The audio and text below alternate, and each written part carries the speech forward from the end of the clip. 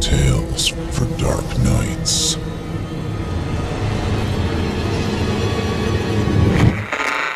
Want to make sure you never miss a Chilling Tales for Dark Nights video again? Be sure to subscribe and hit that bell to turn on notifications. It's time to turn off the lights and turn on the dark.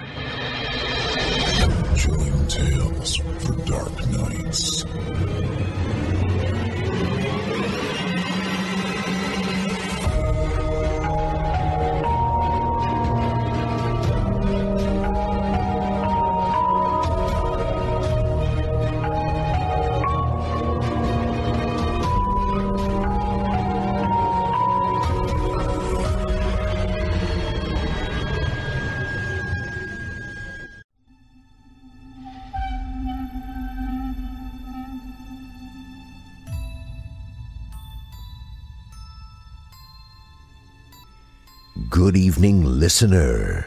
You're listening to Chilling Tales for Dark Nights.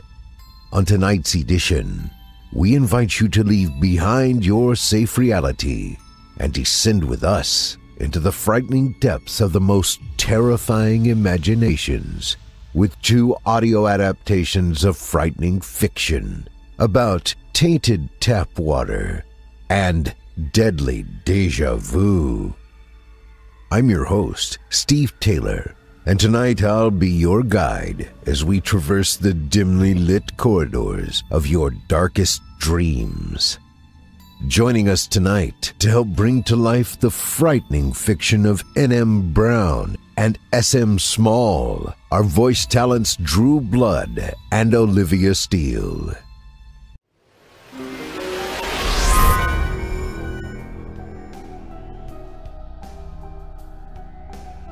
This episode of Chilling Tales for Dark Nights is brought to you by BetterHelp. When you're at your best, you can do great things, but all too often, life gets you bogged down and it's tough to perform the way you'd like. Working with a therapist can help you get closer to the best version of you, because when you feel truly empowered, you can take on everything life throws your way. If you're thinking of trying therapy, BetterHelp is the best way to go. It's convenient, flexible, affordable, and done entirely online. Just fill out a brief questionnaire and get matched with a licensed therapist fast. You can also switch to a new therapist at any time for no additional charge. If you want to live a more empowered life, therapy can get you there. Visit betterhelp.com slash chilling today to get 10% off your first month. That's betterhelp, H-E-L-P dot com slash chilling.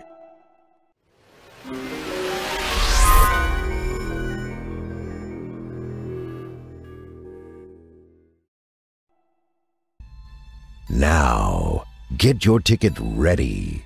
Take your seat in our Theater of the Minds and brace yourself.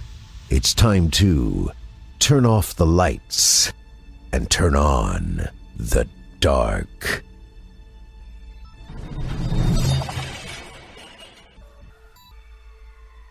Our first tale of the evening is written by N.M. Brown and is performed by Olivia Steele.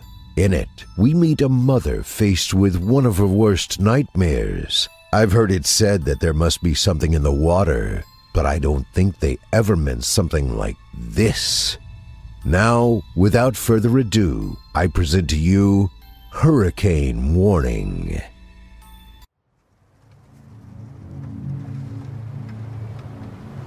My teeth clenched in a tight grimace as pain shot down my left arm.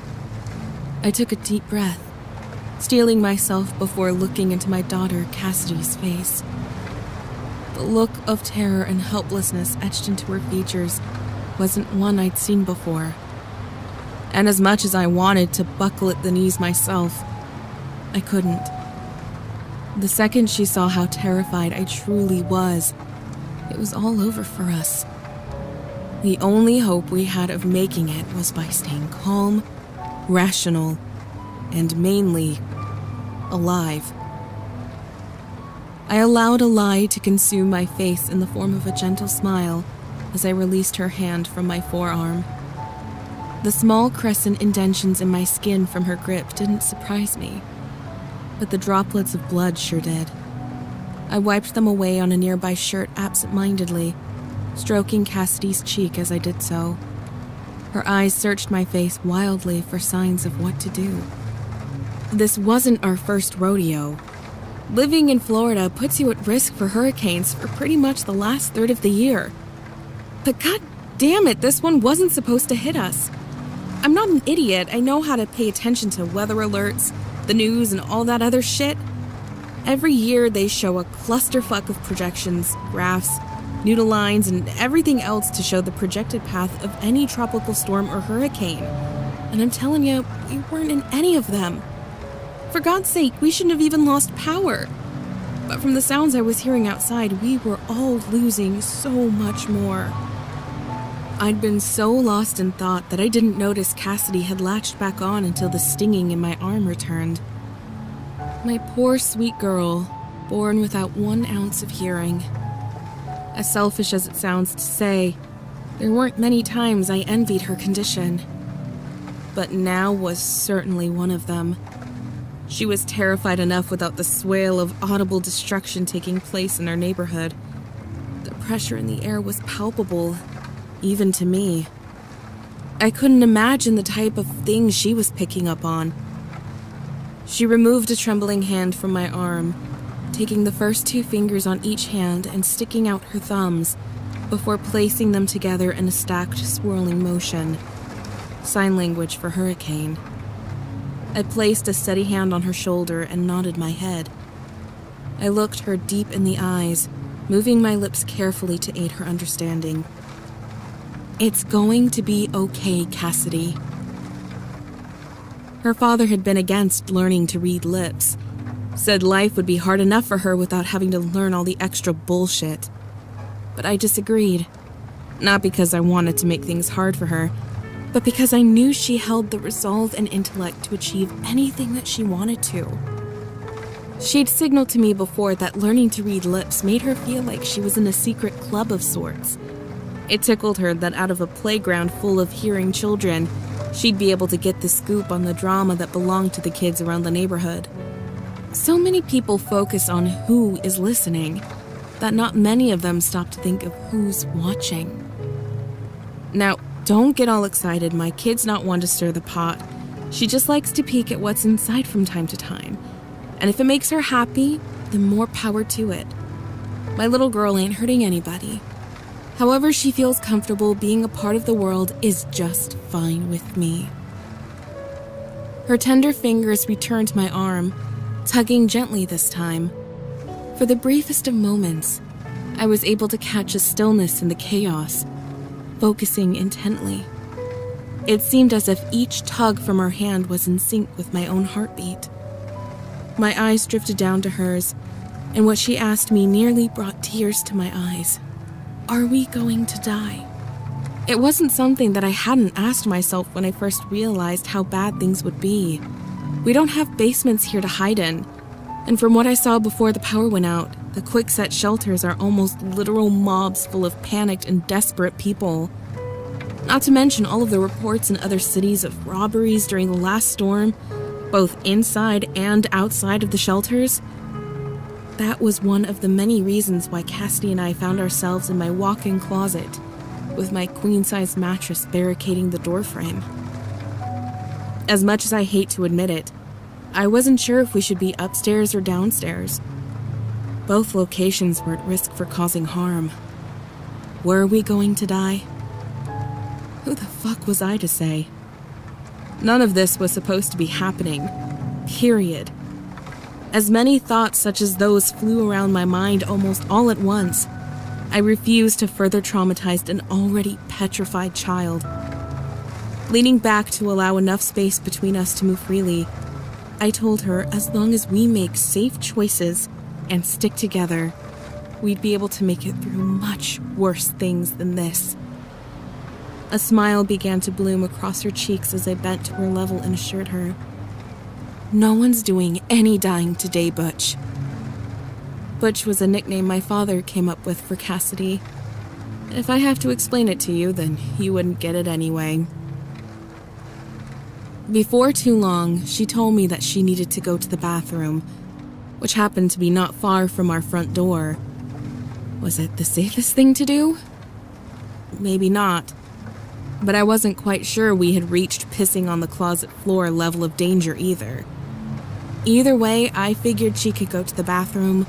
I could grab some more closet snacks and peek out the front to see just exactly what we were all dealing with, weather and damage wise.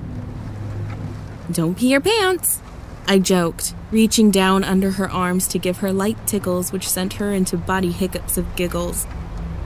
Once I was sure I had her full attention, I made my best He Man stance and kicked the mattress out from in front of the door. However, I wouldn't be in a silly mood for long. My room was swallowed in absolute darkness. It almost seemed to suck up the brightness from our flashlights. Relief began to set in once the living area was in full view, and I ushered Cassidy to the bathroom door. The setting sun, though in turmoil, still provided enough light to see by through the unboarded windows. Unfortunately, the relief I found in it was shallow and fleeting. The floor's surface, especially by the front door, looked slick and shiny, my heart sank at the almost inevitable reality that water was indeed getting into the house. I reeled at the unfairness of it all. A hurricane has never come this late in the year and almost teleported off path like this.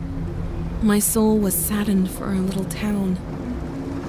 The wind outside sounded like a malevolent entity, hungry, dark, and all consuming.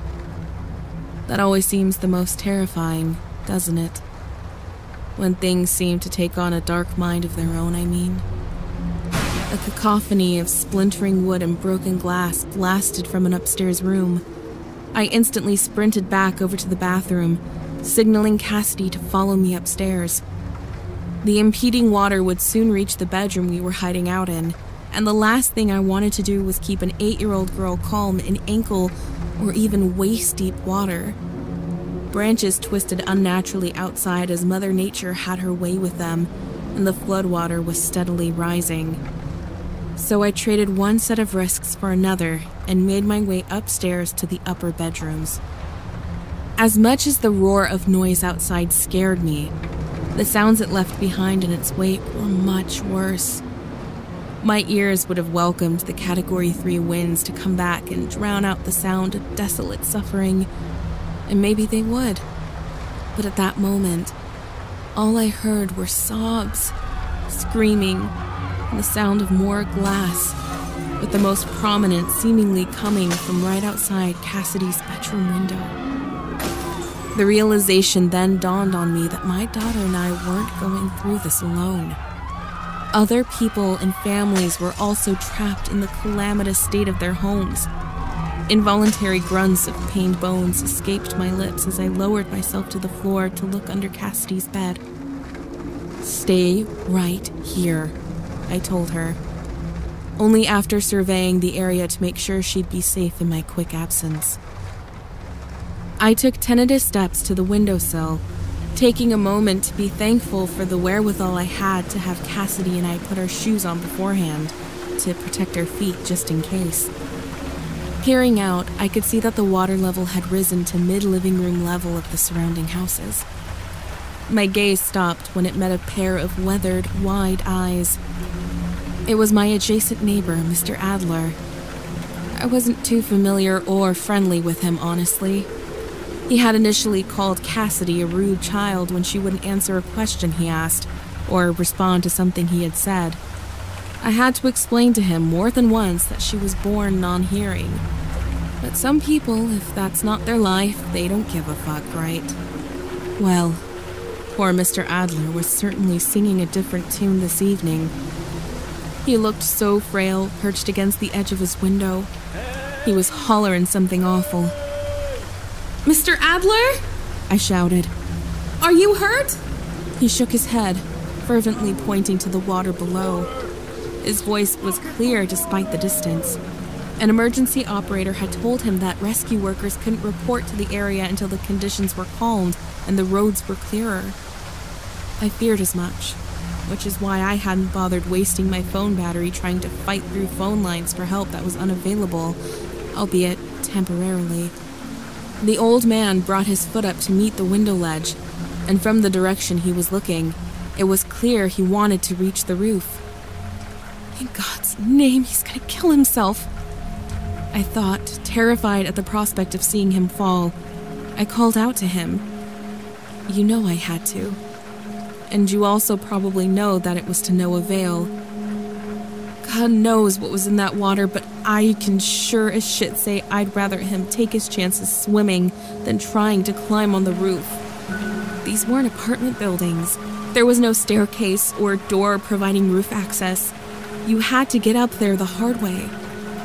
When I say my heart leapt in my chest and froze there, I mean it. I literally felt a frigid lump lodge between my lungs as I watched him use his weight on that raised foot to stand, turning, trying to grab onto something to hoist himself up with. The writing was almost literally on the waterlogged walls. One way or another, he was ending up in that water. What in the hell was he thinking? I didn't know this man's medical history. There was no way to know if he was in his right mind or missing medication. There could be a number of things that led him to try to escape that way. It was dangerous enough being as high up as we were. If the water didn't get us, a falling tree sure as hell could. Stop! You're going to get hurt! I pleaded. He stopped what he was doing to turn his head and stare at me before gesturing below emphatically. Stuttered words flew through his lips faster than my ears could understand them.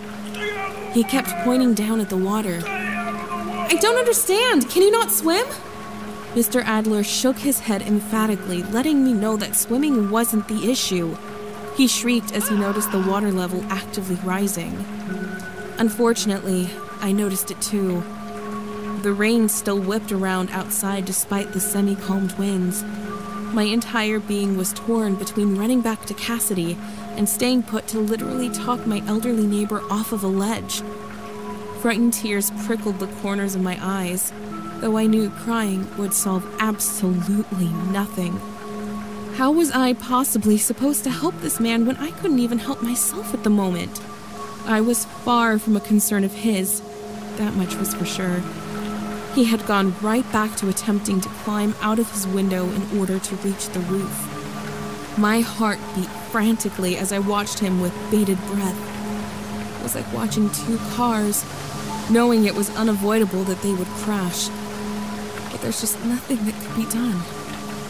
All I could do was stand there, motionless, waiting for this man's doom. A faint vibration hummed against the soles of my shoes kissing my toes in quiet alarm. It was something I taught Cassidy when she was practically a toddler. The world is a busy place, sometimes even within the walls of your own home. If she needed my attention and for some reason couldn't get it visually, stomp on the floor.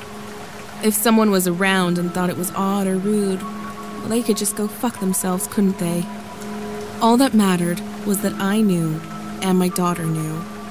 It was important for Cassidy to feel heard, especially since she wasn't able to do so.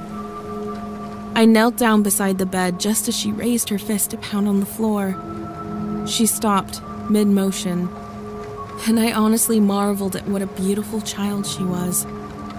I was so blessed to have her. She wanted to know if it was safe to come out and look out the window. I told her she could come out, but had to stay away from all the glass in the house especially windows. However, now that she brought it up, I couldn't help but think about Mr. Adler and his current situation. Waves of relief swelled through me when I saw he was no longer at his window. Hopefully, he'd gained the common sense to go back inside and seek help in another, safer way. And as I said before, I had next to no knowledge about this person. But if I had to guess, I'd have to assume that he lived alone. I did my best to scan the inside of the house for any activity, but regretfully saw none. There was one thing I did notice, though, that I was sure wasn't there before. A faint red streak kissed the bottom corner of one of the shutters that had managed to stay on despite the onslaught of wind and rain. I didn't want to do it at the time, and now I wish I hadn't.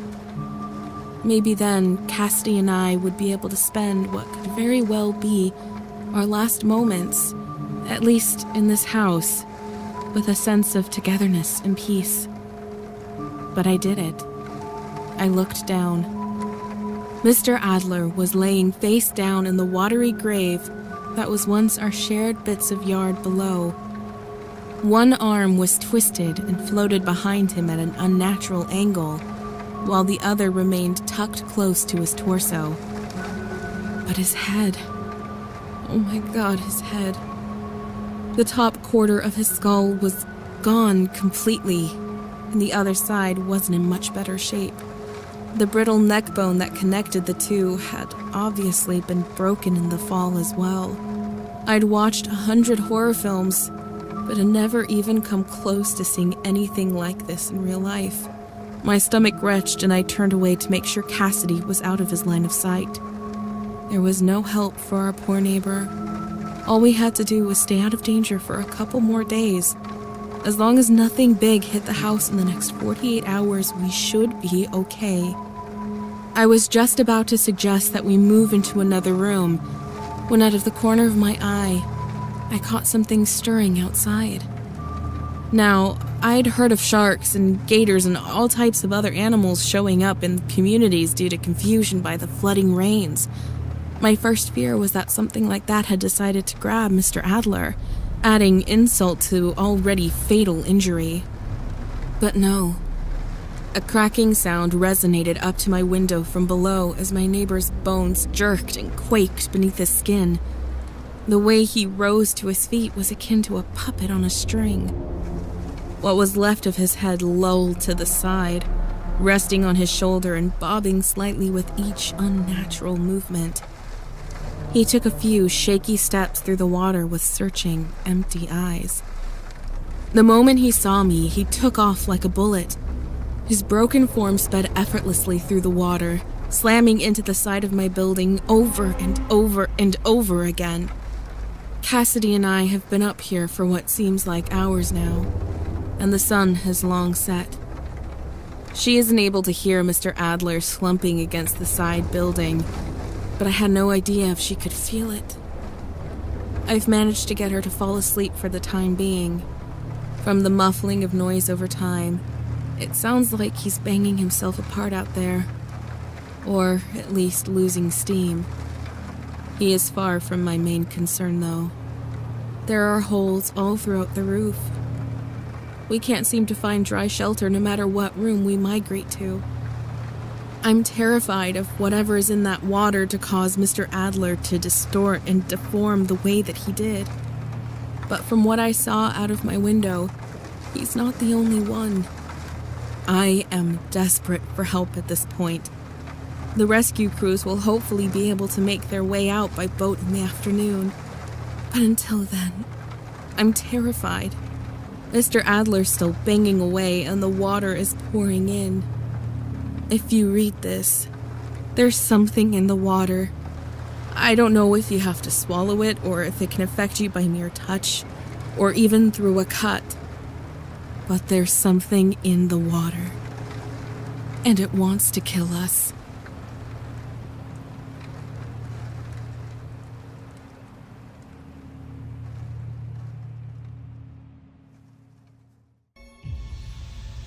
I hope you enjoyed Hurricane Warning, as written by N.M. Brown and voiced by Olivia Steele. Our very own Drew Blood can be found over on his very own show, Drew Blood's Dark Tales, airing Friday nights on both podcast and YouTube format.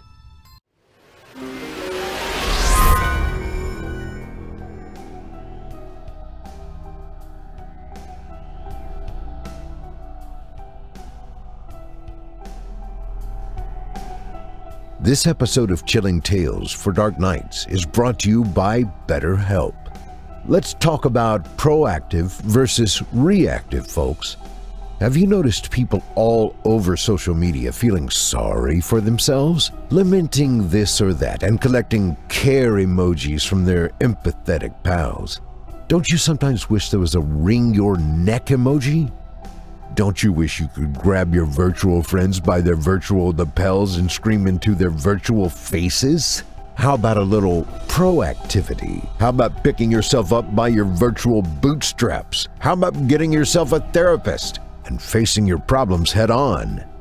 Sorry for the spirited intro, folks. It's just that I care. And really caring doesn't have an emoji, it has a web address. And that address is betterhelp.com. What therapy does is it helps you identify the source of your personal challenges and learn productive coping skills to empower you. There's a reason so many empowered people use therapy. Success takes proactive decisions. And how are we supposed to do that while we're feeling sorry for ourselves? With BetterHelp, you can air your grievances in a productive way to someone who not only cares but has good professional advice. You can text your therapist anytime and receive prompt, thoughtful responses. Every week, you can set up video chats or phone calls. It's all done remotely, so you'll never need to visit an office.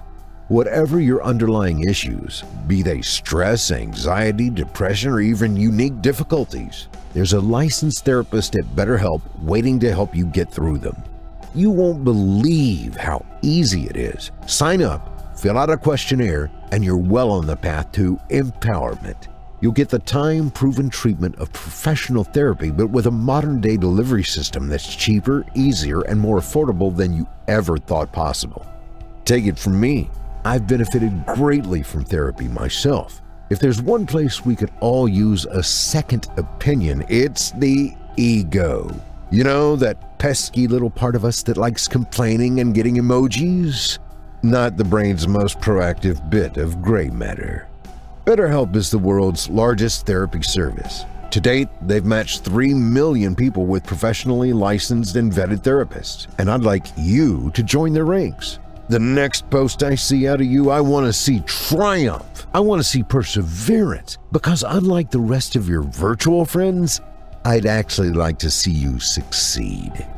If you want to live a more empowered life, therapy can get you there. Visit betterhelp.com slash chilling today to get 10% off your first month. That's BetterHelp, H-E-L-P dot com slash chilling. Thank you for your support and for supporting our valuable sponsors.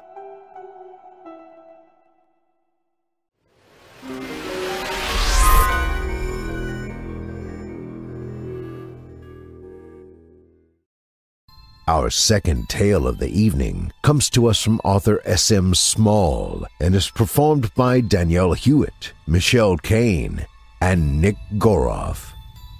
Well, it's the first week of February again, and the nasty groundhog has seen its withered shadow, at least in my neck of the woods. I've heard conflicting reports, and it's in that spirit that we bring you our next story.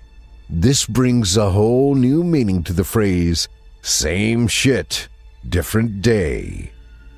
Now, without further ado, I present to you Repeat Offender.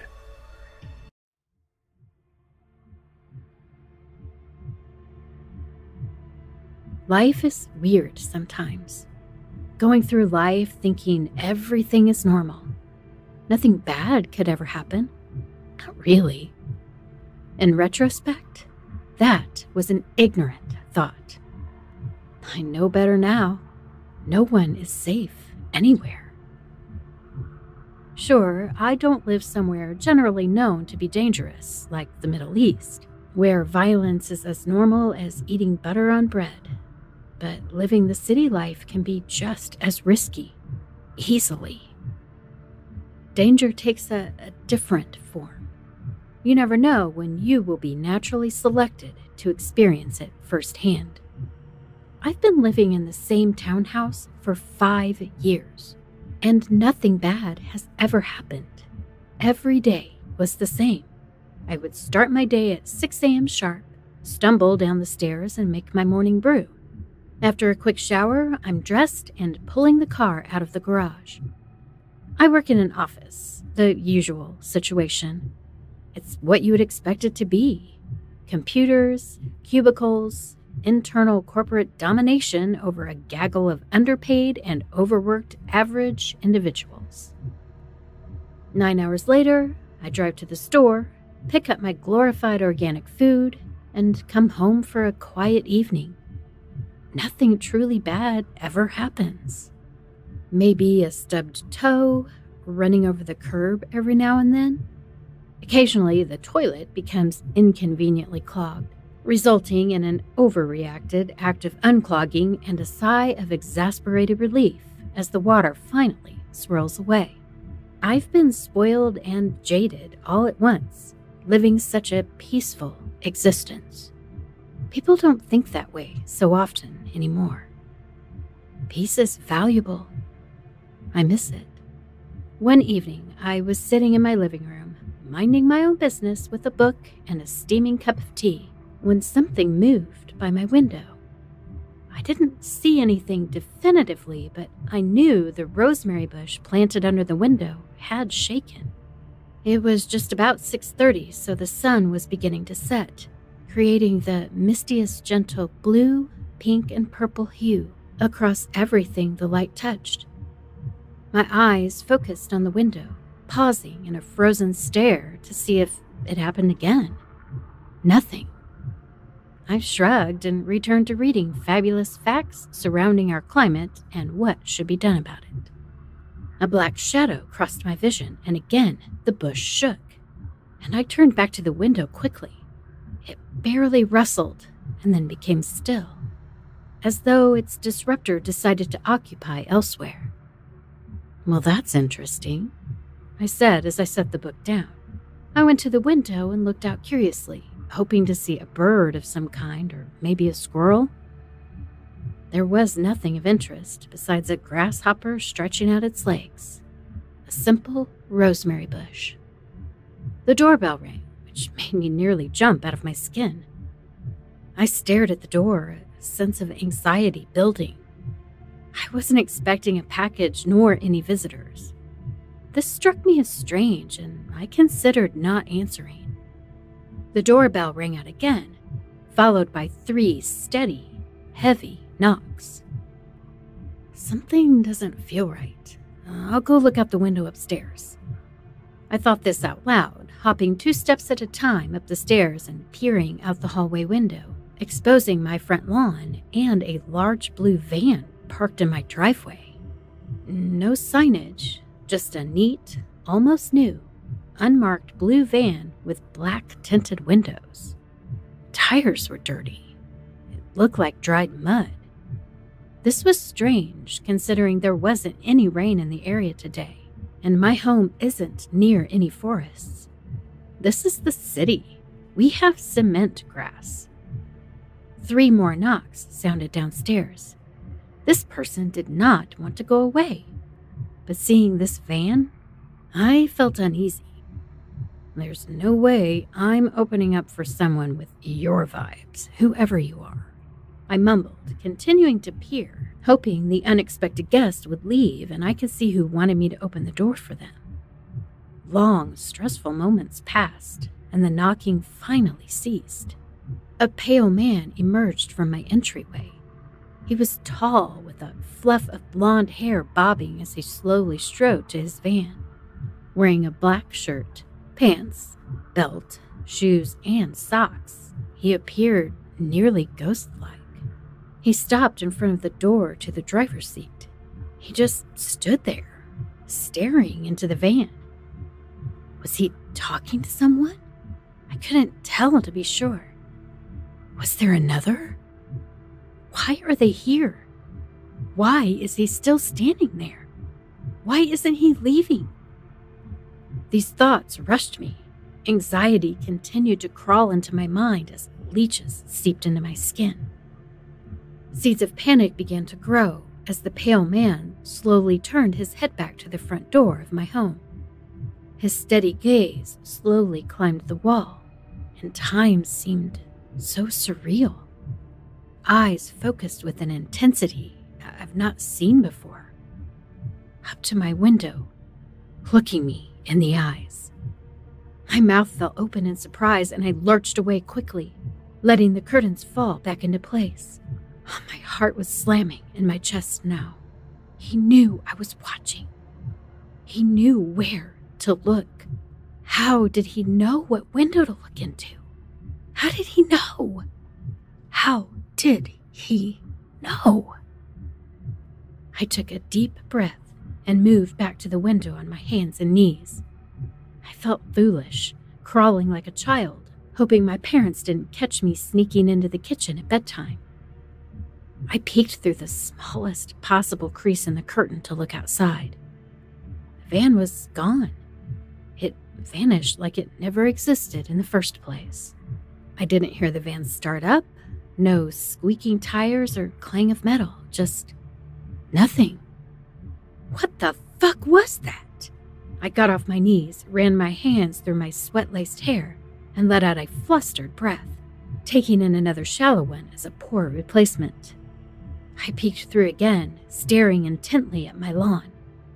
I felt my courage come back to me, giving me energy. Nothing is out of place. I know they were here. This is weird. Going downstairs, I checked the windows just in case. Also, the back door. You never know. I looked at the front door. Locked, of course, but I was curious. Unlatching the lock, I opened the door and stared out into the world. A beautiful setting sun, a quiet suburban street, a cozy doormat displaying the cheesy domesticated welcome message Who's there?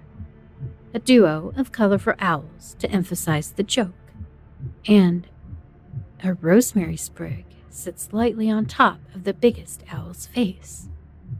Hmm. The next day, things were normal for the most part. My morning routine was the same, nothing out of the ordinary. I had a dream about the rosemary sprig. Thinking back, I wonder if my subconscious was more in tune with my surroundings than I was. Coming home that night, I scanned the roads for the blue van with the muddy wheels.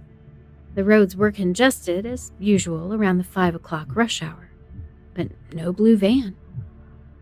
I pulled into the driveway and looked up at the window I was standing in the day before. The curtains were closed, as I would always have them. Today, I did leave a light on upstairs to give the impression someone might be home, just in case they came by while I was gone. Once inside, I brewed my tea and took a nap in the living room. My eyes thickened behind closed eyelids.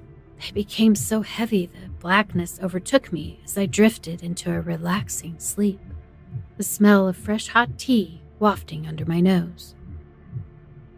I awoke to an abrupt bang with a startled gasp.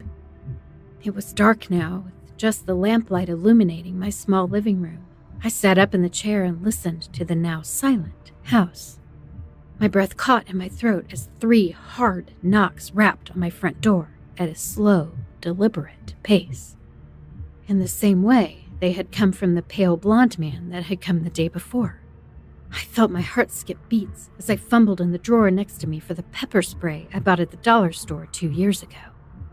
Hopefully, pepper spray doesn't expire, I mumbled, fumbling with the little plastic switch to activate the release just as the knocking began again. Peeking around the corner, one eye gets a clear shot of the front door and blonde tresses shining so clearly under the porch light through the faded glass. Crap! I crawled on my knees through the living room and kitchen, hoping he would disappear. As I settled on my kitchen floor, I breathed in and out rapidly. It grew silent. Long moments passed again. I stayed on the floor, trembling with the pepper spray locked in my iron grip, ready to spray the hell out of anything that dared try to hurt me. The clock read 10:32 p.m. on my stove. My eyes stayed glued to that clock for what seemed like an eternity. The neon green numbers eventually ticked to 10:33 p.m. And I let out a breath I forgot I was holding in. This is not good. I thumped my head against the cabinet and sighed, taking in the heavy silence. Click. There was a clicking noise now. It seemed so close, but, but I couldn't place its source. Click, click, click. I tilted my head, scrunching my eyebrows together as I tried to concentrate. Click. I honed my ears in on the new, unwelcome sound. Slowly turning my head, I looked up at the back door in my kitchen, leading into the yard. Click, click, click. I watched the doorknob twist and pop back into place, and my eyes nearly bulged out of my skull as I realized I was in a new level of danger. This person was trying to break in. At this point, 911 was in my immediate future. I lunged for my phone sitting on the counter. I dialed the emergency line and hid in the pantry, delicately clicking the door into place with as little sound as possible. 911, what's your emergency? She sounded bored, like this was her first call in hours, and she'd just been sitting at her desk flipping through Cosmo with a rock star to get through the night. Some freaky man is trying to break into my house. I whispered with alarm, dropping the cell phone and picking it up quickly. The speaker piece was in my ear, and I, I tried to speak into the hearing piece. I flipped the phone around in a panicked rage and heard the operator mid sentence. Unlikely. So are you sure they're trying to break in? They aren't just a telemarketer? I could hear the rustling of plastic, followed by the operator munching on something crisp. What? Yeah, I'm sure. Telemarketers don't even. Oh, just never mind. Just send someone now. A loud bang echoed through the kitchen outside of my hiding place. I peeked through the pantry slats at the man standing in my kitchen, the back door hanging limply off its hinges. He loomed with an energy that exuded ominous and treacherous intent. Looking around slowly, turning this way and that, he surveyed the area. He didn't have any bags. It didn't seem like he was going to take anything, which only meant he wanted something else. After a prolonged period of silence, the man spoke. Where are you? He said this in a voice that reminded me of a, a sinkhole filled to the brim with poisonous snakes, hissing and slithering all over each other to collect heat for their cold blooded bodies. I know you're here, or I would not be. He settled his hands together behind his back and openly walked about my kitchen, peeking into the hallway, the bathroom, and up the stairway before returning to the kitchen. A sickly wide smile beamed across his crooked, cracked, and broken teeth. You cannot hide from me. I can smell your fear. He stood there, legs apart in a dominant way, with his hands relaxed behind his back, smiling. I clasped my hand over my mouth to steady myself. I didn't want him to find me or, or even have the possibility to hear my breath. Two tears betrayed my waning bravery as they trickled down my cheeks and stuck to my chin. My body's violent shaking allowed the droplets to pop to the ground as the man turned to the pantry door. He tilted his head to the side. There you are.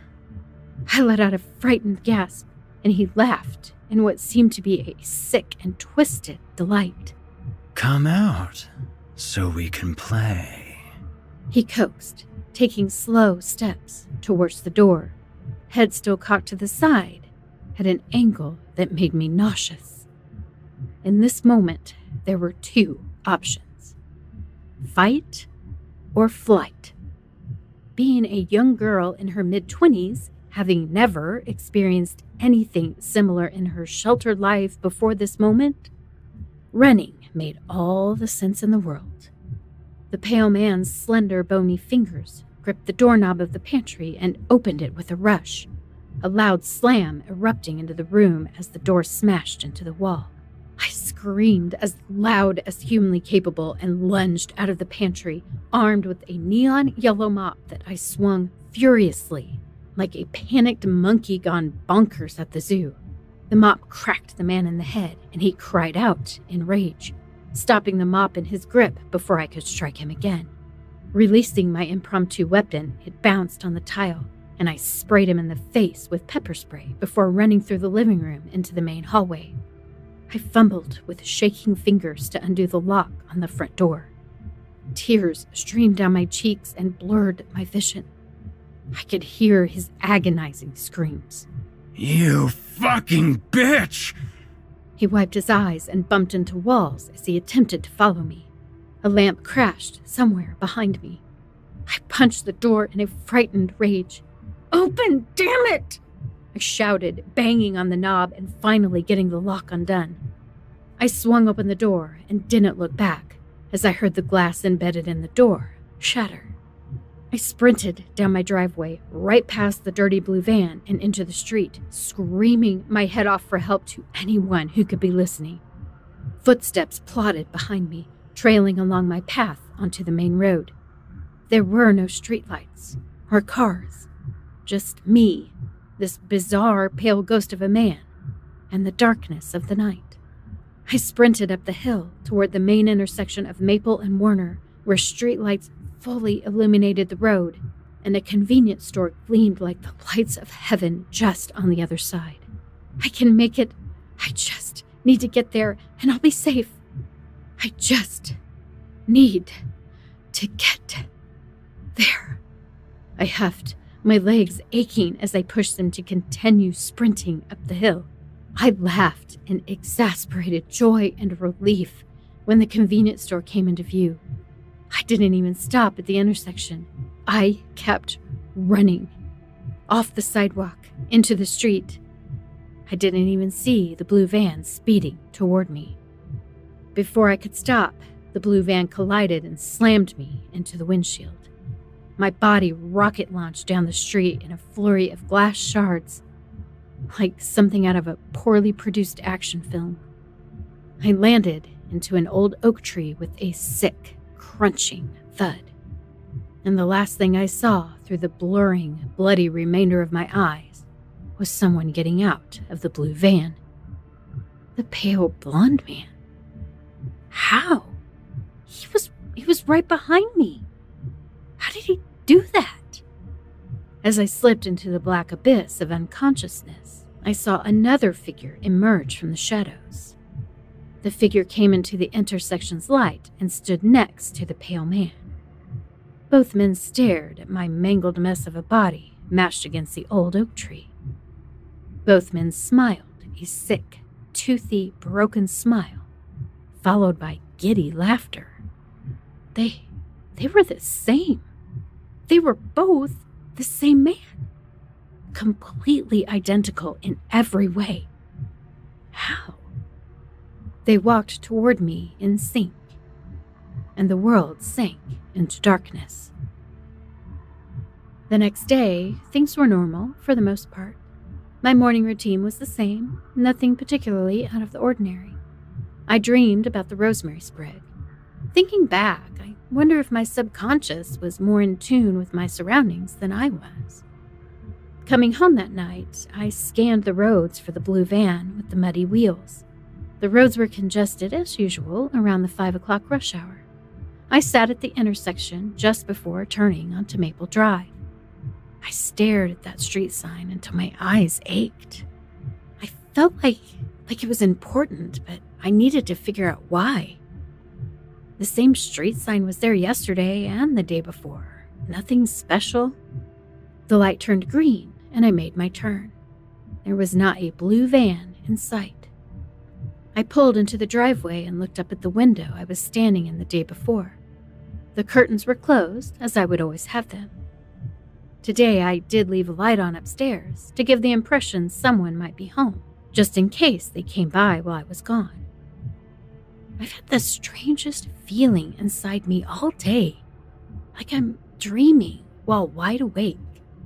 I sat in the driveway for a while, scrunching my eyebrows together in quiet contemplation. Today went so well, but why do I feel like something has changed? No, something hasn't changed. This day, it, it already happened? No, that couldn't be true. But, but why do I remember this? Well, it's not like I don't do this daily. I talked to myself as I unlocked my door and took one long glance out at the world before closing the door. Once inside, I brewed my tea and took a nap. I blinked awake groggily some hours later, the moon gleaming through my living room window, the smell of settled tea wafting by my nose. Walking through the hallway, I flipped the light on and headed up the stairs to get some laundry started. Closing the washer and setting the dial to delicate on cold, the washer beeped to life and began to process its purpose. Satisfied, I closed the door to the laundry room and turned to the stairwell, freezing mid step. Standing at the end of the hall was the man dressed in all black, his hands folded behind him, and he stared me down as a pit bull does raw meat. His bloodshot eyes impaled me. So, we meet again. How's your head? I'm impressed. The man said with that same broad grin, yellowed and all. The fuck are you talking about? Get the hell out of my house! I shouted, seizing my limited opportunity to back up into my bedroom and slam it in his pale freak of a face. I pushed the dresser in front of the door and tore apart my bedroom looking for my cell phone. Three knocks and raps on the door. If you're looking for your cell phone, Mommy says hello. The man said through the door, laughing maniacally in his own amusement. I kicked the dresser in response. Eat me, prick! I shouted, suddenly wishing I had listened to my mom and just had the landline phone installed for emergencies. There was a pause, and then the maniacal laughter ripped through the air. Gladly. The man shouted and giggled with joy, followed by the horrible cracking sound of wood as he repeatedly beat the door with his foot to break it down. Shaking, I scanned the room for a makeshift weapon. I went into the bathroom and closed the door, locking it. I heard the banging continue as I searched, the sound of cracking wood pounding in my thoughts. Searching through drawer after drawer, I found only a small set of scissors and razors to use as my defense. Fumbling with the razors, I looked up in the mirror for a moment and screamed. There, standing in my shower, watching me, was the pale man. He launched from the shower, laughing as I sprung away from him, screaming bloody murder. He grabbed my shoulder, and I took the opportunity to take one of the razor blades and clap around his wrist, skinning him as he cried out in pain. Blood ran down his arm, and I released him, running out of the bathroom while he remained there, cursing, occupied by his injured arm. Now back in the bedroom, the dresser had been knocked over, and the first man, now halfway, stepped through the huge hole he had kicked in the door. Oh shit, now what? Looking around the room, I spotted my table lamp and an internal light bulb lit in my brain. You can't run now. Nowhere to go. Nowhere to hide. He pulled his other lanky leg through the hole and stepped off my dresser smoothly, staring me down. The other man came through the bathroom, bleeding and notably pissed off. I want the first draw. She cut my damn arm. He growled my way, pointing at bloody gashes streaking along his forearm. The first man gave him a look and casually waved his hand, and the cut twin grinned and wasted no time in stomping my way, arms stretched and reaching to strangle the life out of me with blood soaked hands. I backed away in the direction of my nightstand, and when close enough, I reached behind and took hold of the lamp. He dangled me above the ground with a strength I had not expected from such a slender person. He gripped my neck so tight I felt my face redden with pressure. My eyes bulged slightly, and I began to sputter for air. The lamp was still in my fainting grasp, and I used every bit of energy I could muster to smash him in the face with it. He screamed, releasing me and covering his face as wedges of sharp ceramic fell to the floor, followed by large, seeping pools of blood. He flailed wildly and gripped me by my hair, slamming my head into the other dresser. The flat screen swayed and toppled over with a loud crash. As the first twin joined in, I pulled the scissors from my back pocket and stabbed them into the side of his neck without hesitation. Shrieking, the man fell to his knees and then toppled to the floor, drowning in the blood pouring from his body. The body twitched awkwardly. I stood there, watching him waste away, feeling triumphant. Kneeling, I gripped his blond hair and pulled his head up. That's what you get for breaking into my house, you piece of shit. I released my grip and let his head smack the floor with an audible thump. As I stood up, I felt hands take hold of the back of my shirt and was instantly reminded I had only won the battle, not the war. It's time for you to die, not my brother. He looked me in the eyes for a long moment. I stared into bloodshot orbs filled with hatred of most humankind before he let out a roar of maniacal laughter. Tightening his grip, he lifted me off the ground in one mighty swoop and sent me flying through the upstairs bedroom window. Falling felt so surreal as the world seemed to reduce to slow motion. The second story pulled farther away as I closed in on the cold, hard earth. I landed with a crunching thud, all my bones shattering instantly. My eyes stared listlessly into the moon and stars, taking in the moment before pain destroyed me. Stray pieces of glass fell around me, plenty already wedged in my arms. A large shard jutted out of my rib cage. The last thing I heard were sirens in the distance and the sound of agonizing screaming ripping from my throat as my body collapsed into internal shutdown. The pale blonde head popped out of the broken window above me, waving at me tauntingly, with the same wild grin plastered on his face. I sobbed, salty tears and blood dripping down into my mouth. Closing my eyes, I welcomed my fate. The world sank away into the abyss, and I felt myself release into the safety of death.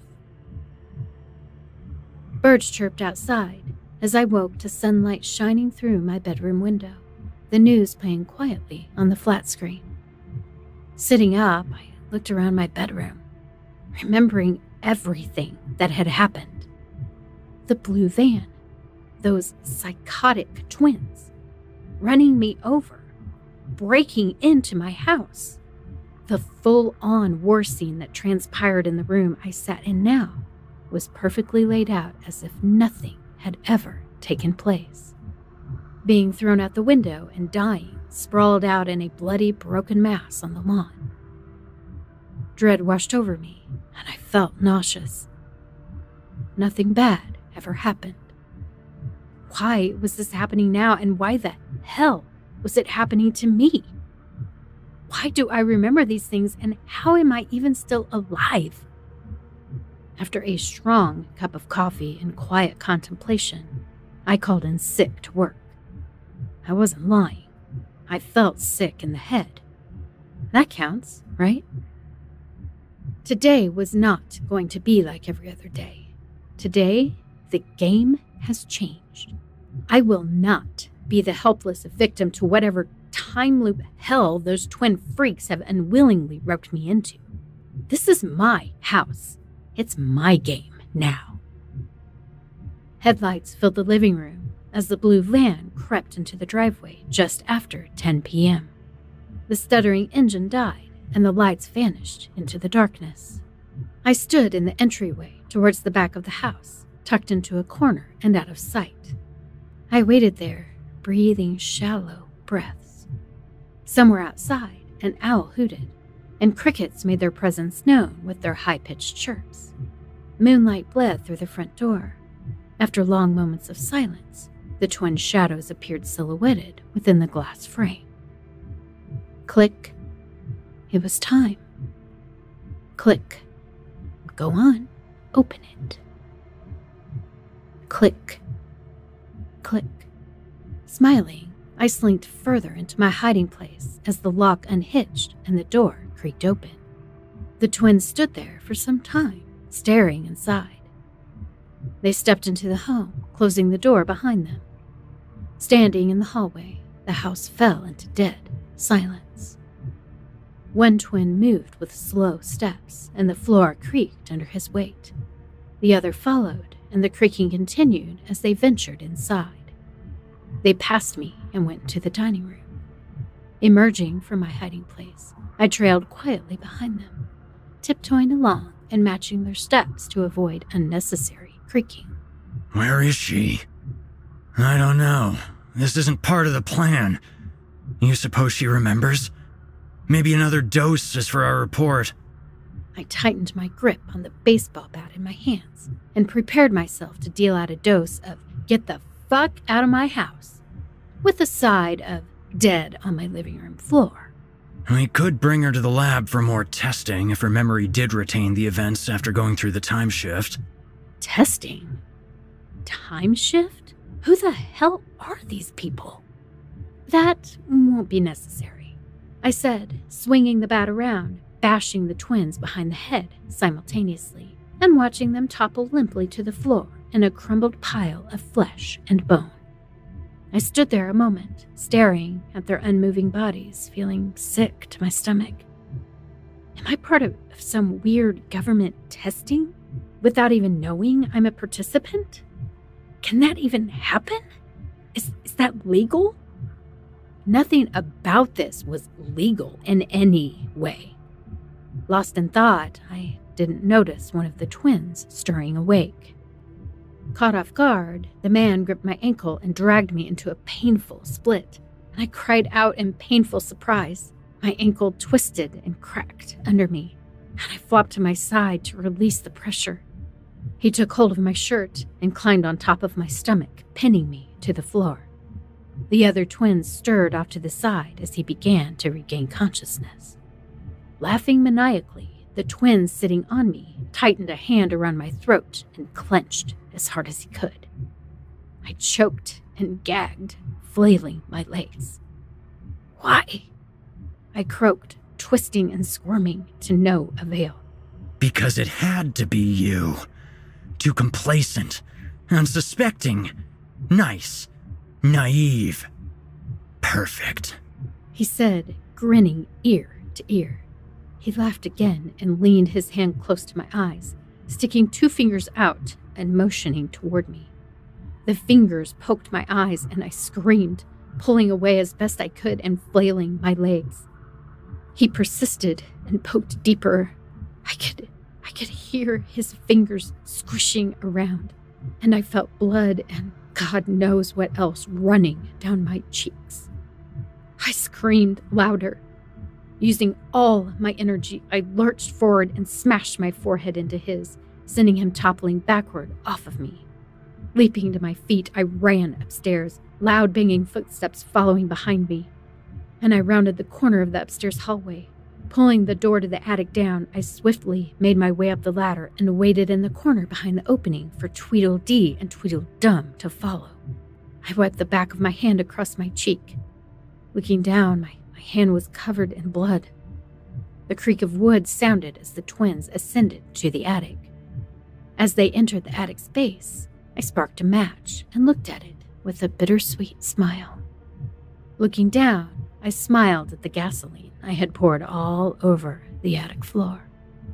Making eye contact with the twins, they stared at me in disbelief. What are you doing? One asked, taking a wary step forward and I let out a wild, maniacal laugh. Winning! I dropped the match and jumped down the hole to the second story. The attic immediately erupted into flames, and I heard the twins screaming in fear. I pulled the ladder up and closed the attic door, knowing the fire had started in front of their only exit and was rapidly spreading to every crevice it could consume, including the twins. Stomping and screaming ensued above me as I calmly pulled out my cell phone and dialed 911. 911, what's your emergency? I took a deep breath and said, Hi, I would like to report a fire at 221 Maple Street.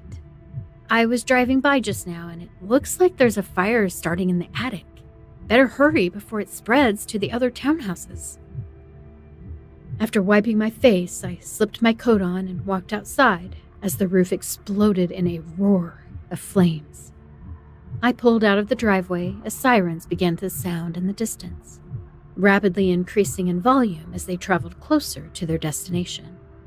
Pulling onto the main road, I drove through the evening in silence.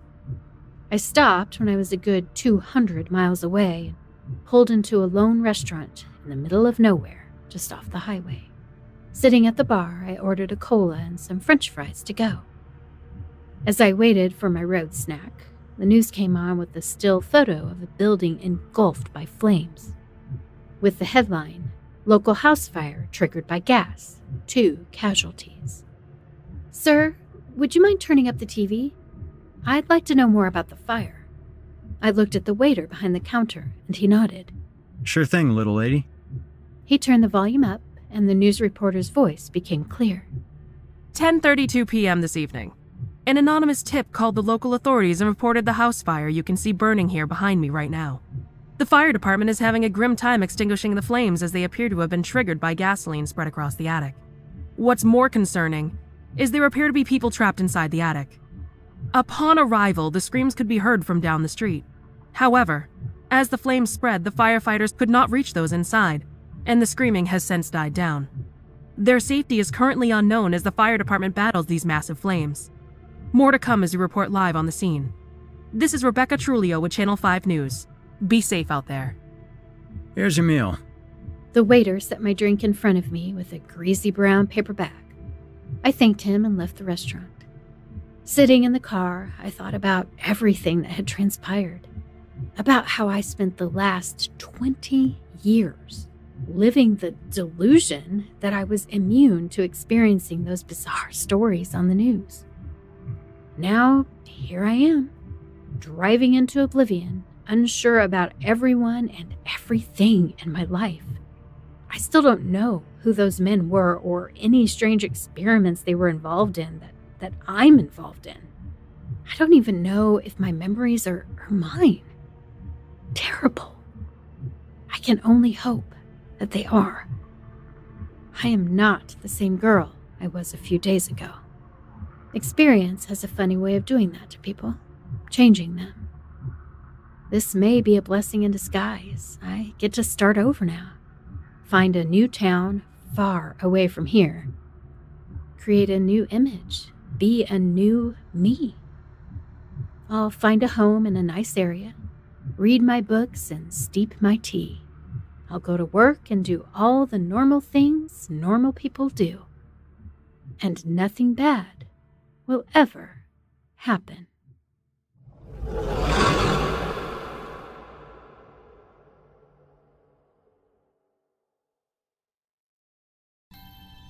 I hope you enjoyed Repeat Offender, as written by S.M. Small and performed by Danielle Hewitt, Michelle Kane, and Nick Goroff. If you enjoyed Danielle's performance, you can hear more of her on the Chilling Tales YouTube channel, where she holds the third place championship title for 2019's Evil Idol competition. You'll also find more of her work on the Wicked Library and Creepy Podcast at www.creepypod.com. Voice actor and 2016 Evil Idol champion Nick Goroff's talents can be found on our very own Chilling Tales for Dark Nights YouTube channel, as well as past episodes of the Simply Scary podcast. You can also join Nick on his YouTube channel, Wizard of Cause. On that note, be sure to check out the other shows we offer on our network. We have Horror Hill, airing Thursdays for your hardcore, more brutal offerings. Drew Blood's Dark Tales airs Friday, featuring some southern down home horror. Fear from the Heartland airs Wednesdays. Longtime resident Otis Jiry has a show on Sunday nights that features two stories on the Standard Edition, as well as two more which can be accessed through our patrons area. Now, Our weekly descent into the depths has just about come to a close, but before we go, I'd like to take a moment to thank you for joining us for tonight and remind you to take a moment to stop by our iTunes page and leave Chilling Tales for Dark Nights a five star review and a kind word. And follow us, please, on Facebook, Twitter, and Instagram if you haven't already. And of course, subscribe to us on YouTube, where you can find an archive of our work going back to 2012. And consider signing up as a patron at our website, chillingtalesfordarknights.com, to show your support and get all of our content ad free. I'm your host of the evening, Steve Taylor, and it's been a pleasure. Tune in again next week when we once again turn off the lights and turn on the dark. Sweet dreams, listener. Sweet dreams.